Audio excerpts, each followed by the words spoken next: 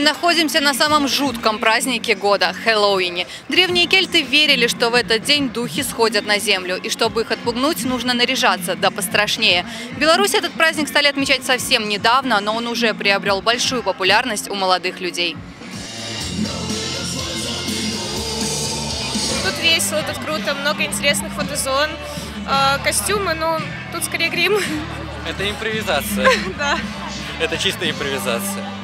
Все страшно и все весело. Много интересной музыки, много интересной сувенирной продукции. Обязательно что-нибудь купим, я так думаю. Вот. И веселье. Самое главное веселье, да. В прошлом году мы собирались с подругой и грабили людей, да, подходили. Кто-то предлагал деньги, но как бы мы отказывались. В этот день открывался портал между миром мертвых и ж- ну, живых. Как вы празднуете обычно Хэллоуин? Ну, дома обычно. Вырезаем тыквы Да, и украшаем квартиру, да. И все, в принципе. И сидим вечером в свечах. А как вы украшаете квартиру? Ну, там разными паутинками, разными надписями, гирляндами. Костюм я делала сама, я дизайнер одежды.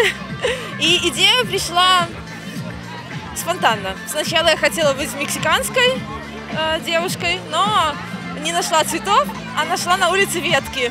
И так появилась корона. Традиция на Хэллоуин в Мексике, э, когда Хэллоуин, э, самая такая интересная и пикантная традиция, этот праздник весь очень важный для, мекс- для мексиканцев, там моют кости своих родственников. Откапывают родственников и моют кости. Вообще про Хэллоуин говорить можно бесконечно, это мой любимый праздник. И мне нравится, допустим, отношение к смерти мексиканцев самих. Совершенно другое, не такое, как у нас, а более позитивное.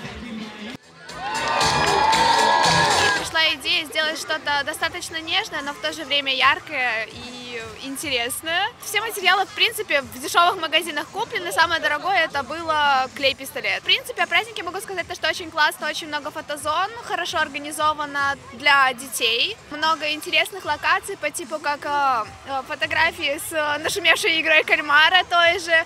Классные песни, как ни странно, все молодое поколение, но все знают эти треки. Э, Вырезание тыквы тоже очень хорошо вписывается в антураж данного праздника. Говорят, то, что это праздник мертвых, ну, я не думаю, то, что это прям так глубоко заходит, то, что надо в какого-то беса наряжаться.